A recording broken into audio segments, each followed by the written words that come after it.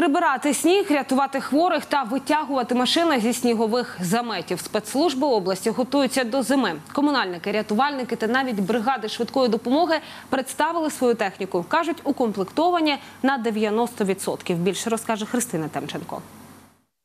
Надзвичайники, комунальники і навіть бригади швидкої допомоги на виїзній сезонній конференції. Кожна служба звітувала про готовність до зими. Говорили про доукомплектування бригад і про техніки.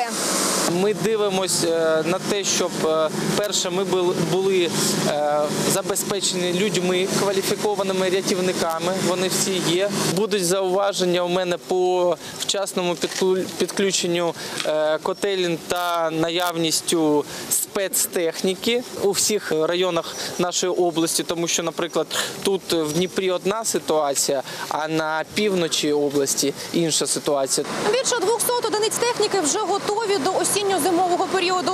Це транспорт з ліквідації дорожніх заторів, пожежні та снігоприбиральні машини. Тут є наша інженерна техніка, от за моєю справою від мене.